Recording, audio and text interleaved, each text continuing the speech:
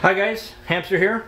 I would like to say thank you to those guys that are uh, watching my videos. I appreciate it. And um, I'll try not to waste your time. I know your time is valuable. I appreciate your watching. And uh, I'll try to keep things as short as possible. So let's get right to it. Tonight I'd like to talk to you about support equipment and why I think you should have it and why I think it's important. First of all, what is support equipment? Well, support equipment is not accessories. It is not a flashlight, it's not a vertical grip, it's not an optic. These are things you basically could be accessories, things you need to set a weapon up to do a specific task. These are basically what I would classify as accessories. Um, what I'm talking about is support, things that keep a weapon running. and why is that important? Um, I think it's important because if you ever have a situation where you need to use your firearm, there is going to be no support network for you other than one you provide yourself. And what do I mean by support networks? Support network can be something as simple as this, as a as a bandolier for a shotgun. Something that supports that weapon and keeps that weapon in the fight. A bandolier is a simple example of a support device. Um, chest rigs, magazine, carriers, tactical vest, um, bandoliers, all examples of support equipment. Um, also, support equipment I think could be considered to be a holster, um, a sling, something that keeps that weapon going and functioning.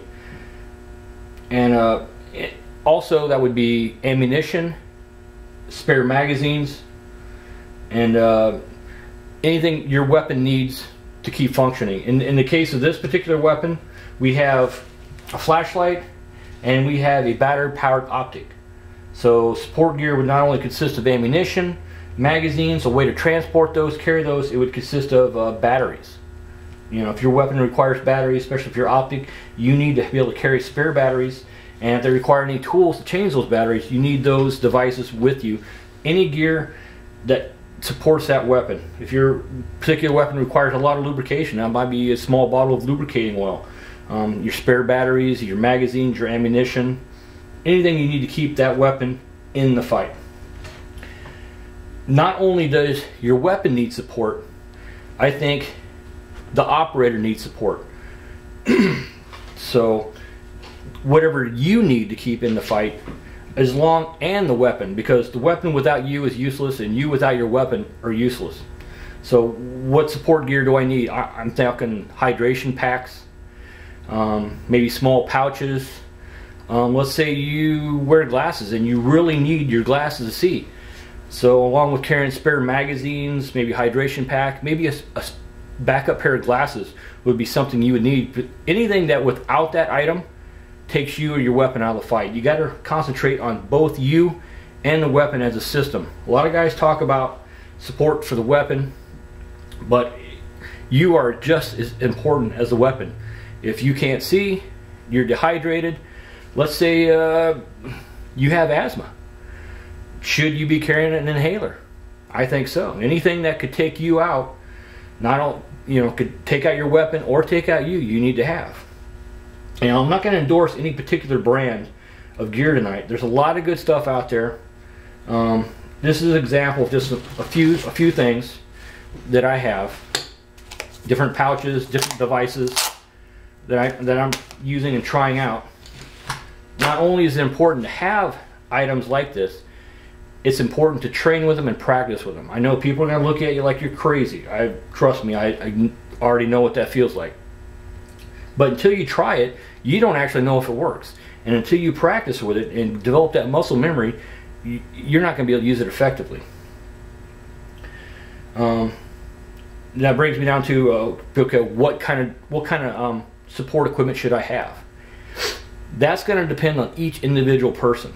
What kind of weapon you have, what it is you need. Do you need spare glasses? Do I need uh, allergy medicine? Do I need, you know, an inhaler You know, do I need magazines? Do I need, you know, what am I carrying shotgun shells? You got to figure out figure out exactly what it is you need to keep you and your weapon functioning.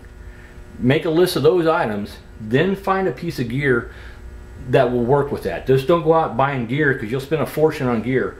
Make a list of exactly what it is your weapon needs and you need. Maybe, you know, you know, your blood sugar gets low after a few hours if you don't eat regularly. So maybe your weapon system would, would consist of a canteen and you know, or hydration pack and maybe a pouch full of any energy bars. To say you were out defending uh, your neighborhood or a certain area, and you were out there for several hours, or, you know, 24 hours. You know, with water and energy bars, you would stay alert and functioning, and then the proper gear to keep your weapon functioning. They're both important. And people will say, well, I really don't think I need a support network. You know, I, I think one magazine, maybe a spare magazine in my pocket, and that's all I need. I don't think so. I mean, just look at simple things like uh, your car. Your car is a great tool, but there is a huge support network for your car. People are like, what, what are you talking about? I'm talking about every gas station that exists.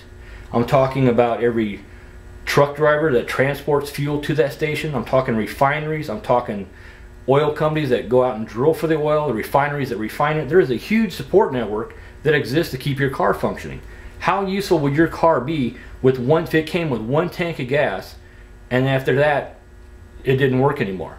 So I think having that one magazine or, or spare magazine in your pocket, no batteries, no no water, it's like having a car that you can't ever refuel with, with gasoline.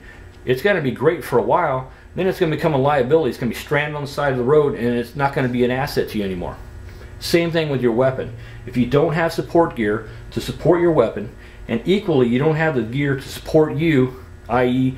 hydration medications glasses I mean it could be something as simple as you live in, a desert climate very hot maybe in your support in your in your loadout gear you need suntan oil because you're outside in the sun you're going to be cooked without it and so you'll be ineffective you know if you don't have a hat hydration and suntan lotion it may sound crazy but that's the kind of gear to keep you going and then you need the kind of gear to keep your weapon up and running.